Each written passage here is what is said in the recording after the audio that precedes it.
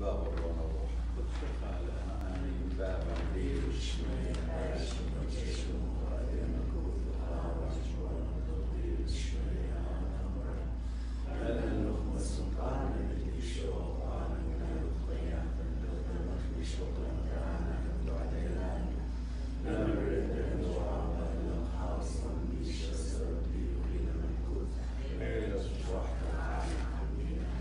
روح الله ورونا وروح القدس بالباب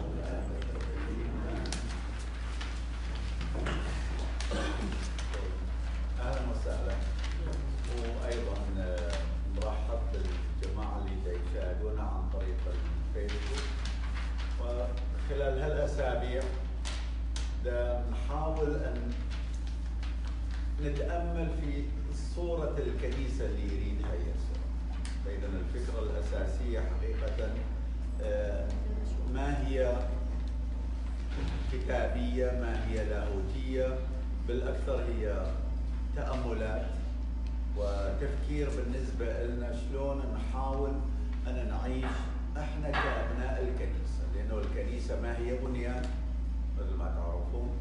الكنيسة هي المؤمنين وماربولس يتحدث لما يتحدث عن الكنيسة ولما يحكي مع المؤمنين يقول لهم إنه أنتم الحجارة الحية. فإذا أكو حجارة وأكو الحجارة الحية اللي هم إحنا المؤمنين. اذا بالحلقات الماضية اللي كانت فقط حلقتين تحدثنا شوية عن الأسس اللي عليها اراد يسوع ان يبني الكنيسة وحوارنا لقاءنا الأسبوع الماضي تكلمنا شوية تأملنا في كنيسة الخطاة التائبين. هذا كان تقريبا صلب حديثنا يوم الاثنين الماضي ويسوع بنى الكنيسة على هالفكرة فكرة الإنسان الخاطئ التائب فإحنا راح نكون هالحجارة الخطاة التائبين. آه، بالتأكيد آه، ماكو واحد من عدم ما عنده خطيئة. ولهذا حتى لما يسوع قال لما بطرس أنت الصخرة. على هذه الصخرة أبني كنيستي نشوف أنه يسوع نفس الوقت يقول له آه، لمار بطرس لما بطرس قال له حاشا لك أن تتألم؟ يقول له ابتعد عني يا شيطان. يعني هالأفكار ما هي أفكار الله هي أفكار الشيطان. ان ما تريدني أن أتألم. نفس الوقت لما قال له البطرس انه راح تنكرني ثلاث مرات يقول له لما ترجع ثبت اخوتك اذا آه هذا هو الإنسان. الإنسان هذا هو واقع مالك. الإنسان هو ضعيف الإنسان هو خاطئ الشيء اللي يطلبه يسوع هو انه النية مالتنا لما نرجع لما نتوب. ولهذا التركيز كان يعني لقاءنا أو حوارنا بتاملنا الأسبوع الماضي عن كنيسة الخطاة التائبين. اليوم راح نحاول نتأمل أكثر بصورة أخرى وجه آخر للكنيسة شوية تركيزه على العهد القديم ونحاول أن نفكر العهد الجديد أيضا صورة الكنيسة كنيسة المحبة والرحمة. ونحاول أن نتأمل بالله أكثر ما نتأمل بينا ونأخذ الله صورة إلنا لهالمحبة لهالرحمة. إذا آه راح يمكن يكون تركيز مالتنا شوية اليوم على نبيين مهمين بالعهد القديم واحد من الأنبياء اللي نسميهم الأنبياء الكبار الأربع الأنبياء الكبار اللي هم اشعيا إيرميا دانيال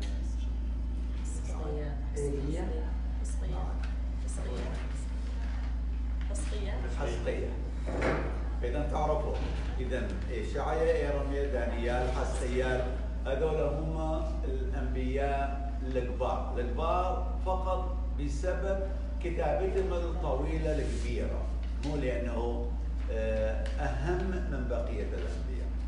بقية الأنبياء عندنا الأنبياء 12 يسموهم يسموهم الأنبياء الصغار بسبب كتابة مالتهم هي قصيرة هي قليلة.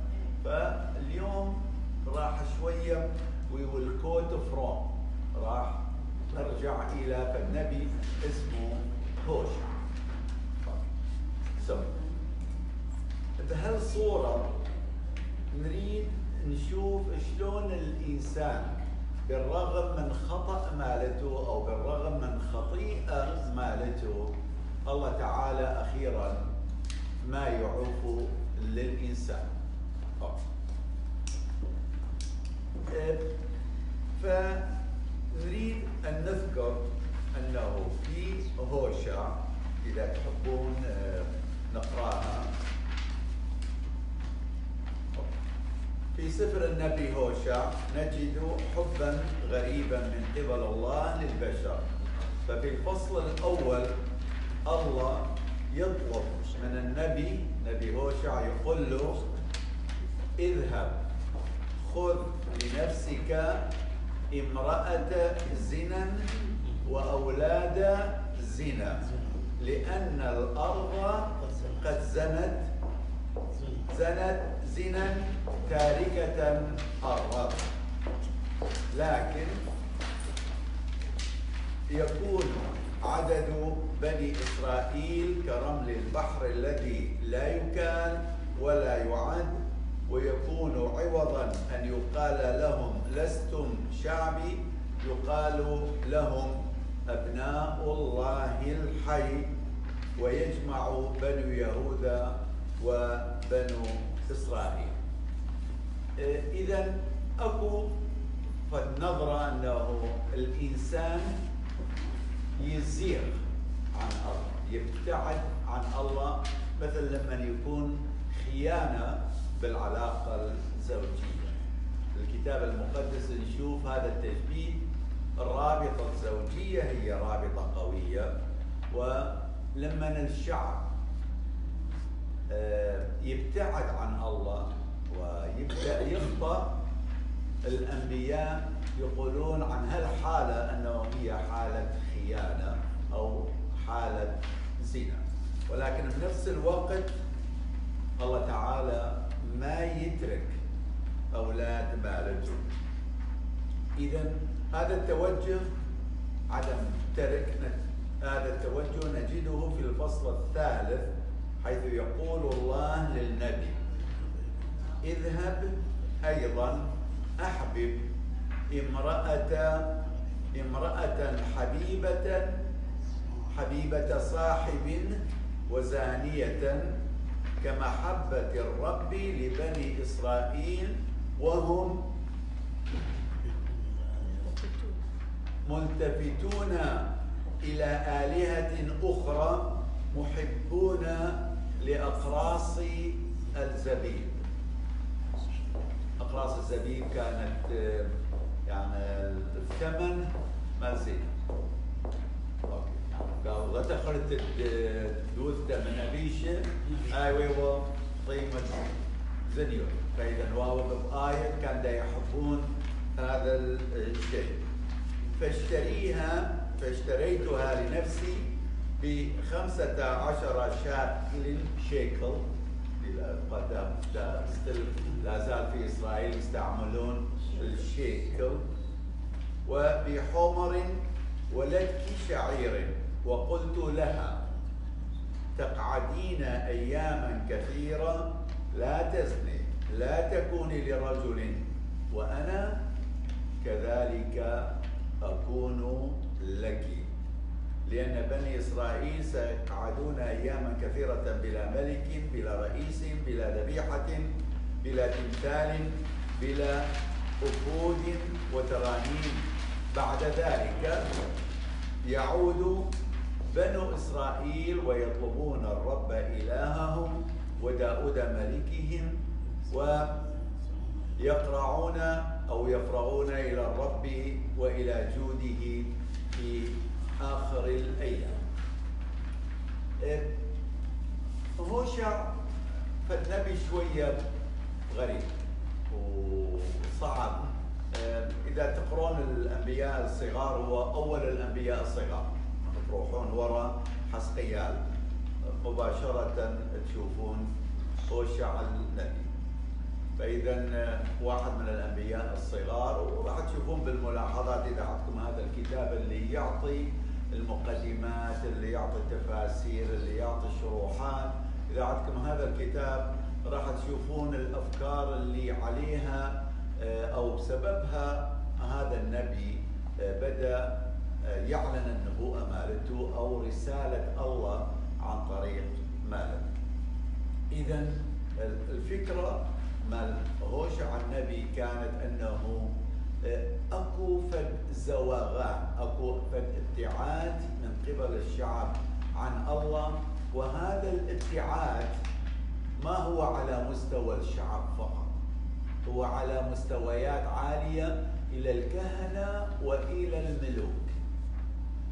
يعني الكهنة أيضا كان زاغوا الملوك أيضا كان ابتعدوا ولهذا اكو هالكلمة أنه الذبائح مالتكم ما كيت ما كيت ارضى بها لأنه هي ذبائح زيغان ذبائح عندكم نية بها ولهذا ده يقول أريد رحمة لا ذبيحة.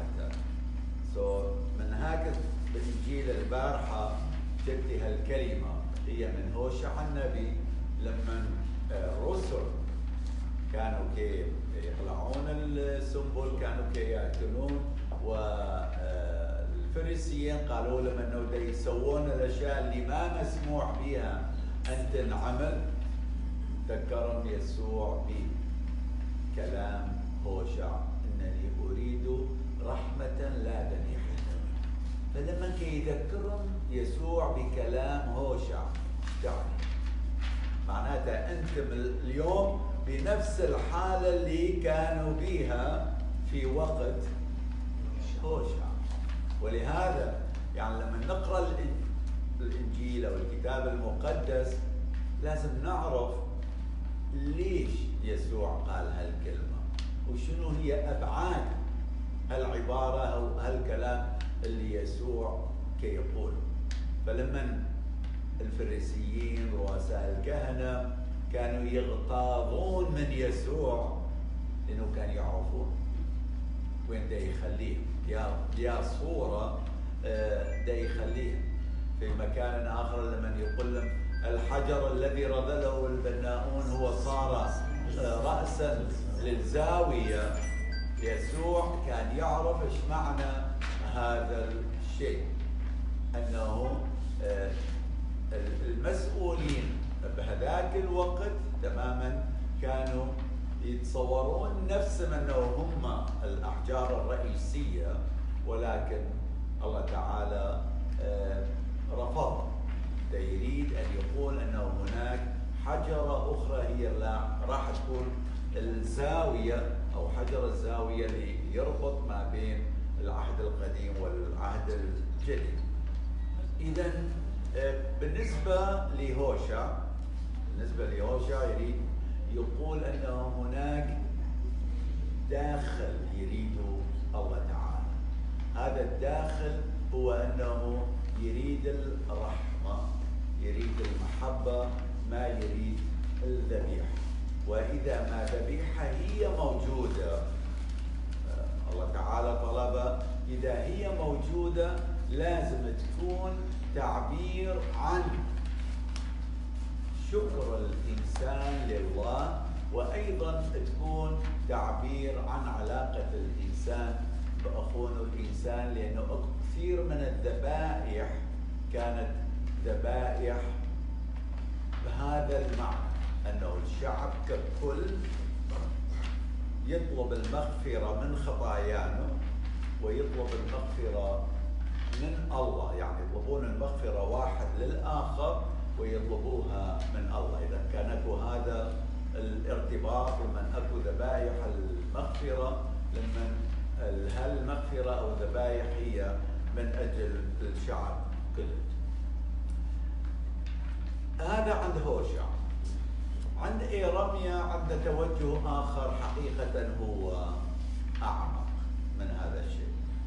إذا عندكم مجال تقرون الفصل 31 من إيرميا راح نقرأ هوني قسم من هذا الفصل. إذا صار لكم مجال تروحون للبيت تفتحون الكتاب المقدس فصل 31 تقرونه كلته وخاصة تركزون على 31 31 سو هاي تبقى ببالكم سهل 31 31 اللي بيها راح نقراها العبارة. إذا إيرميا يتحدث عن نوع العلاقة التي راح الله ينشئها مع شعبه. هي علاقة القلب وليست علاقة الشفاة. إشعيا ما إذا تتذكرون هذا. الشعب يكرمني بشفتيه ولكن قلوبهم بعيدة عني ما ليش أوكي. فإذا في الفصل 31 نقرأ ما يلي. هو ذا أيام تأتي يقول الرب. حين أكمل مع بيت إسرائيل مع بيت يهوذا عهدا جديدا. لأن هذا هو العهد الذي أعبده. مع بيت إسرائيل بعد تلك الأيام يقول الرب أجعل نواميسي في أذهانهم وأكتبها على قلوبهم. أنا أكون لهم إلها هم يكونون لي شعبا. ولا يعلمون كل واحد قريبه وكل واحد أخاه قائلا. أعرف الرب لأن الجميع سيعرفونني من صغيرهم إلى كبيرهم لأني أكون صفوحا عن آثامهم ولا أذكر خطاياهم وتعدياتهم فيما بعد. هذا النص هم لازم نعرف ايمتى إيرانيا كم قال إذا تتذكرون إيراميا كتب النبوءات مالته أو الأفكار مالته خلال الحصار الآشوري لمدينة أورشليم. إذا خلال بداية السبت. أصعب الأوقات للشعب اليهودي. أن يكون مندحر وأن يكون مزبي وأن الهيكل ينخر so, ماكو أصعب من هذا الوقت بالنسبة للإيمان. مثل ما إحنا إذا عشنا هذا الوضع مثل ما عاشونه آه، جماعتنا لما هم مهجرين لما الكنائس هي آه، مفخخة أو آه، مدمرة الناس ما يقتلوهم. فإذا كان هذا الحال. فإذا الحال بالنسبة للشعب ده يشعر أنه الله كان هجر. الله كان ابتعد من عنده. الله ما هو معه. يرمي يقول لهم إذا الله هو بعيد من عندكم خطاياكم هي اللي أبعدته عنكم. ولهذا هذا الشيء ده يصير فلا تعارضون. لازم تقبلون بهذا القصاص ولكن النهاية النهاية الختام هي أنه أخيرا راح ترجعون. وقت يمكن طويل بس أخيرا راح ترجعون. ما كلكم راح تشوفونهم لربما أولادكم أو أولاد أولادكم راح يشوفونهم. ولهذا يعني الكتابات ما هي كلها مال إيرميا مثل ما شفنا أنه عند إيشايا أكو أكثر من كاتب لإيشايا أو أكو أكثر من قسم لإيشايا في إيرميا أيضا نشوف أن أكو تلاميذ إيرميا يكتبون وراء السبي أو عند نهاية السبي أو في رؤية نهاية السبي يكتبون هالكتابات إذا من هسه ورايح دا يقول لهم إرميا أنه الله تعالى راح يكتب الناموس مالته على قلوبكم وأكو فرق كبير ما بين الوصية مكتوبة على الورقة والحب مكتوب على القلب. هذا كلش مهم. الشيء المكتوب على القلب ما يروح. المحفور على القلب ما يروح. بينما الأشياء المكتوبة بالورقة ممكن أن تروح ممكن أن ننساها ممكن أنه ما نعرف وين هي. ماركولسم أيضا يقول الحرف يقتل الروح يحيي. يقول له هذا بمفهوم آخر بمفهوم أنه لما نفكر بالوصية أو بالشريعة على أنه هي حرفية مثل ما هي ما نروح على روح الشريعة راح تقتلنا ما تعطينا الحياة. روح الشريعة تماما يختلف عن حرفية الشريعة. روح الشريعة آه، كان تماما من أجل الإنسان من أجل علاقة أفضل ما بين الإنسان والله. بينما آه، حرفية الشريعة أخيرا وصلتهم الشعب اليهودي وممكن توصلنا. إحنا أيضا وصلتهم إلى طريقه انه فقط ان يكملون النواميس الوصايا.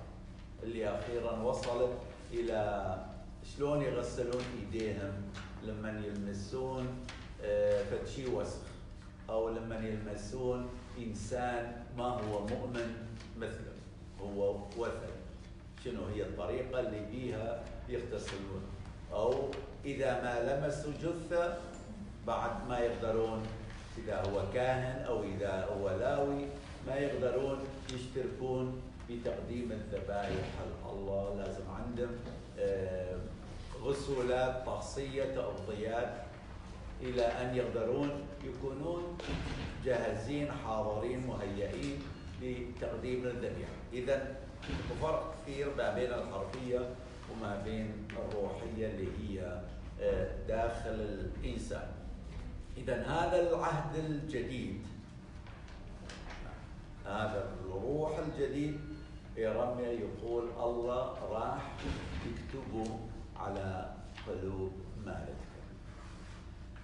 آه، إحنا أيضا حقيقة آه، عندنا مشكلة. هسه اريد أجي على كوننا مسيحيين وحتى بعد مجيء يسوع وموته وقيامته وإحنا خلال تاريخ طويل آه، من الإيمان المسيحي نشوف أنه كثير مرات نقف عن حقية الشريعة. الواجب هو أن يوم الأحد أروح للكنيسة. رحت للكنيسة أنا هونك أنا ما هونك أفكاري وين هي؟ خلصت رجعت دست أنا اليوم كملت واجب الوصية اللي تقول أنه تروح تحضر القدام فكري وين كان؟ إيش قد أنا تبدلت؟ آه، إذا عندي حقد على الآخرين إذا أنا زعلان إذا أنا عندي أفكار آه، غير جيدة وأنا خلال القداس إلى آخره. اكو كثير إمكانيات.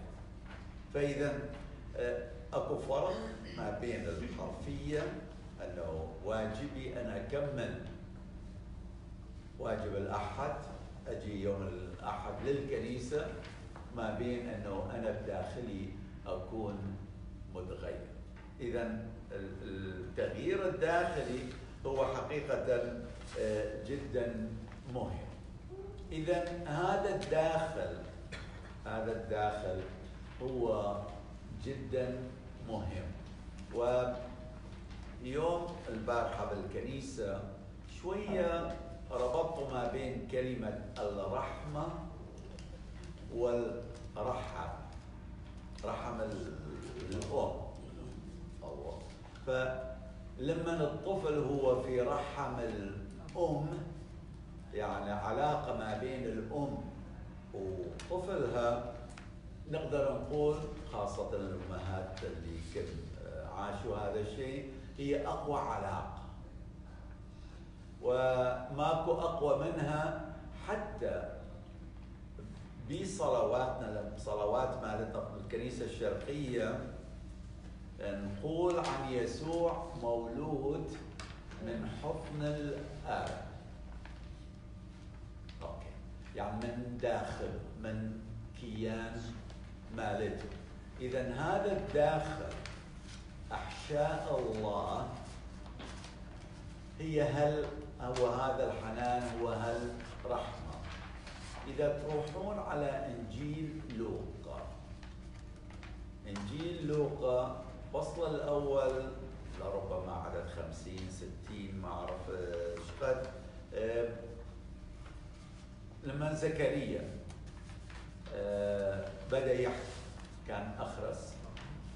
لما الملاك قال له أنه ما راح تقدر تحكي إلى أن هذا الشيء يتحقق إلى أن يكون عندك طفل فإذا لما قدموا للهيكل انفتح لسان مالته. فلما انفتح لسان مالته يقول هل صلاه؟ وامتلأ زكريا من الروح القدس تنبأ قائلا مبارك الرب إله إسرائيل لأنه افتقد افتقد شعبه وصنع فداء له وأقام لنا قرن خلاص في بيت داود فتاه. كما تكلم بفم أنبيائه القديسين الذين هم منذ الدهر. خلاص من أعدائنا ومن أيدي جميع مبغضينا ليصنع رحمة مع آبائنا ويذكر عهده المقدس القسم الذي حلف لإبراهيم أبينا أن يعطينا أننا بلا خوف منقذين من أيدي أعدائنا. نعبده بقداسة وبر قدامه جميع أيام حياتنا.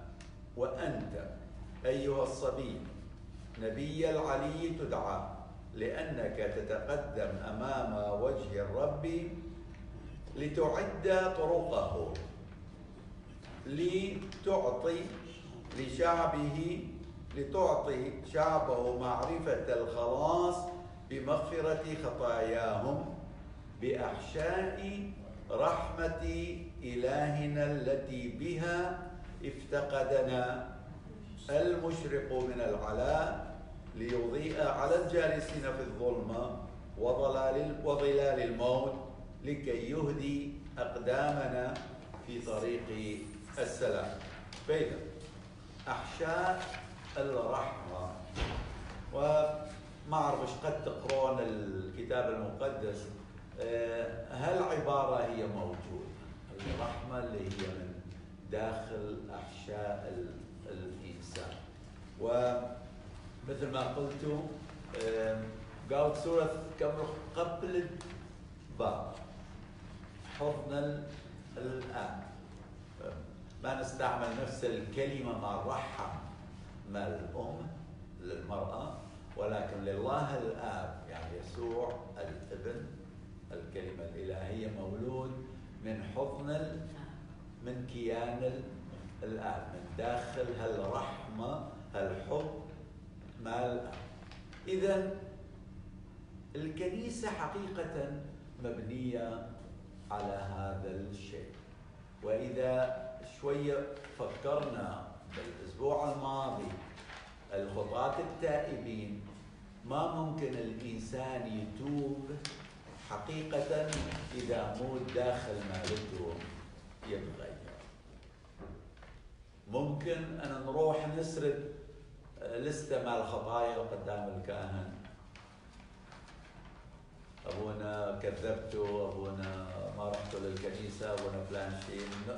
نقول لستة بدون أن يكون انعكاس لداخلنا تكون مجرد عادة ممكن أن يكون هذا الشيء. ما أقول كل الاعترافات هي هالشكل ولا غالبيتها هي هالشكل. ولكن ممكن العادة أن توصلنا إلى درجة أنه نسرد لستة وأحيانا بعض الناس اللي يعني ما يتذكرون الخطايا بالتهم أكو فد ورقه تساعدهم خليناها قدام آه، غرفة الاعتراف فيأخذوها ويشوفون يا خطيه ممكن أن تكون مناسبة أو كن سووها. أنا أقول لهم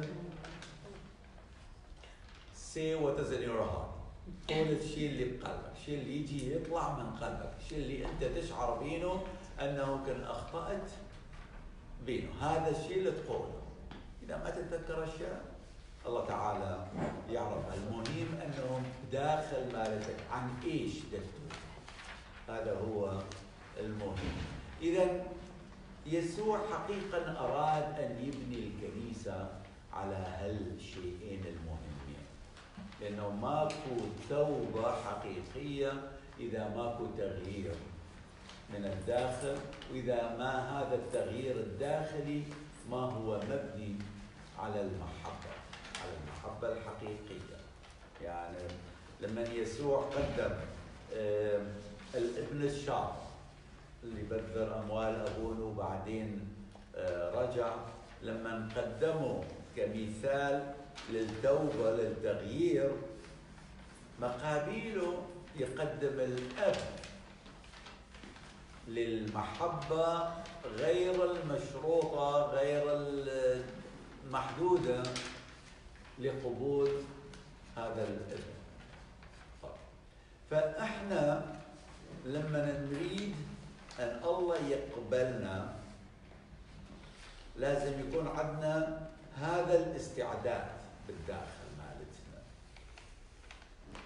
بهذا الشيء أحب أشبه ولو هسه تقريبا راحت الأشياء لما كانوا يصورون قبل. شلون كانوا يصورون؟ أكو كاميرا بالكاميرا يخلون فيلم. هذا الفيلم يطلع أسود أبيض يودونه للتحمير أكو فد ورقة قابلة لصورة الأسود والابيض اللي تعكسها يعني الأسود تسوينه أبيض الأبيض تسوينه أسود. لما كان التصوير أسود وأبيض. بعدين لما صارت الألوان كل لون عنده الموجة مالته أو عنده الرد مالته إنه على هالورقة راح تطلع الألوان. اذا إيش تحتاج؟ تحتاج إلى فيلم وتحتاج إلى ورقة تقبل الفيلم. حتى تصير المغفرة. الله تعالى هو إحنا إذا إحنا ما نكون هذيك الصور أو الورقة اللي تقبل خلينا نقول فيلم الله الصورة ما راح تنطبع عليه. حنان الله ما راح نقدر نقبله لأنه كياننا ما هو هذيك الورقة المادة اللي تقبل الصورة. إذا أنا ما رحوم كل صعبه أن راح أقبل رحمة الله الله هو رحوم. يعني مثل الشمس كي تشرق وإذا إحنا سدينا البردات الشمس ما راح تقدر تفوت إلى الغرفة اللي إحنا بيها. إذا أنا ما مستعد للغفران أنا ما مستعد للمحبة من الصعب جدا أن توصل مغفرة الله وأن يوصل حب الله بحقيقته إلى داخل مالتي إلى كيان مالتي. ولهذا يعني إذا أخذنا الأنبياء قبل حوالي 700 800 سنة ونشوف هذا الحقيقة النظرة البعيدة للأمور آه تماما نقدر نشوفه بهذول الناس الاعتياديين خلينا نقول ما كانوا رايحين على الجامعات وما كان عندهم ال PhD بس كان عندهم هذا ال ال ال الرؤية الداخلية الحقيقية وصفاء الحب وصفاء عطاء الذات لله حتى يكتشفون هذا الشيء ويقولون عبارة صغيرة كلش. أريد رحمة لا ذبيحة. هذا الشعب يكرمني بشفاهه قلوبهم بعيدة عني. بس الأبعاد مالتها هي كلش عميقة. ولهذا أيضا يعني خلينا نقول عظمة يسوع بغض النظر عن كونه إله متجسد هذا شيء آخر إيماننا. حتى للناس غير المؤمنين بيسوع مثل ما إحنا نؤمن بينه. إذا يقرون الكلمات مالته يشوفون بعبارات قليلة معاني عميقة معاني لسنين طويلة. يعني بهذا الشيء تبين عظمة الإنسان. كلمات قليلة معاني عميقة أبعاد طويلة يعني لمدى سنين طويلة إلى اليوم. إلى اليوم إذا نفكر بكلمة أنتم نور العالم أنتم ملح الأرض. كلمات أخرى صغيرة يسوع قال لا زالت يعني الصدى مالتها آه، ممكن أن يكون بحياتنا. فحقيقة الشيء اللي آه، شخصيا أن أتمناه من هذا التأمل هو أنه آه، شلون نقدر أن ما نبقى على المظهر الخارجي للكنيسة؟ لما نحكي عن الكنيسة أولا ما أريدكم تبقون بالمبنى. يعني لما نقول الكنيسة الكنيسة ما هي مبنى. المبنى هو مكان اللي بينه الكنيسة تجتمع. الناس اللي هم الكنيسة يجتمعون هذا الشيء الكنيسة ما هي أيضا الإداريين مع الكنيسة؟ يعني الأسقف البطران الشمامسة أو راهبان أو راهبات. هم جزء في هذه الكنيسة. هم حجارة حية مثل ما قلتنا حجارة حية بهالكنيسة. إذا أريد هذا الشيء. وأيضا أريد بالأكثر بعد أنه إحنا كحجارة حية آه، ما نكون حرفيين أو ما نكون أنه شرائعيين كيف تفهمون إيش معناتها شرائعيين؟ يعني متمسكين بالشريعة حرفيتها. الكنيسة تطلب من عندي مثلا يوم الأحد أجي على الكنيسة. أنا جيت. أنا هونك أنا ما هونك. استبعديت وما استبعديت ما مهم. الكنيسة قالت لي لازم تجي أجي. خلصت وأنا كملت. ما أريد أن نوصل إلى هذا الشيء لأنه إذا وصلنا إلى هذا الشيء ما نكون بالروح الحقيقي اللي يسوع أراده لهالجماعة الجديدة. يعني لما نقول العهد الجديد ويسوع قال ما جئت لأنقض جئت لأكمل. هالمسار الجديد هو أنه حقيقة كان تشبيهات كثيرة؟ من قبل البشر أراد يسوع أن يعيد هذا الصفاء وخاصة صفاء داخل الإنسان اللي هو مخلوق على صورة الله ومثاله. يعني هذا الشيء هو جدا مهم. ف يعني أتأمل أن هالأفكار تكون مفيدة لحياتنا الخاصة مفيدة أيضا بعلاقتنا مع الآخرين.